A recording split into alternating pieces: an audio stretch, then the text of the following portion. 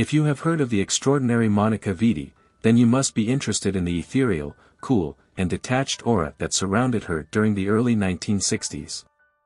These old photographs capture a period of past history when Vitti was at the peak of her career, starring in films directed by Michelangelo Antonioni. Monica Vitti, born Maria Luisa Ceciarelli in Rome in 1931, was introduced to the world with the film L'Avventura in 1960.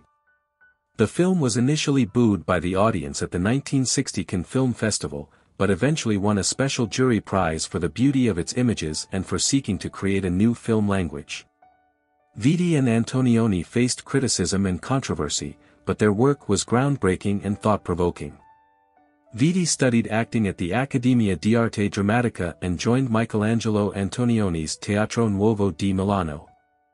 Her first stage appearance in Rome was for a production of Niccolò Machiavelli's La Mandragola. In 1959, she played a leading role in L'Avventura, a film developed from a story by Antonioni. The film revolves around the disappearance of a young woman during a boating trip in the Mediterranean, and the subsequent search for her. Vitti's performance captured the allure of absence, portraying a sense of detachment and coolness that became her trademark.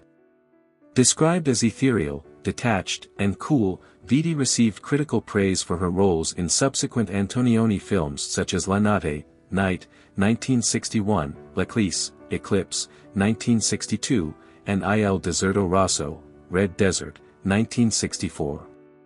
Her on-screen presence was mesmerizing, and her ability to convey complex emotions without overt expression was unparalleled. After her relationship with Antonioni ended, Vitti ventured into English-language films. Modesty Blaise, released in 1966, was a James Bond spy spoof loosely based upon the popular comic strip. Despite the film's modest success, Vitti continued to explore different genres and styles, demonstrating her versatility as an actress.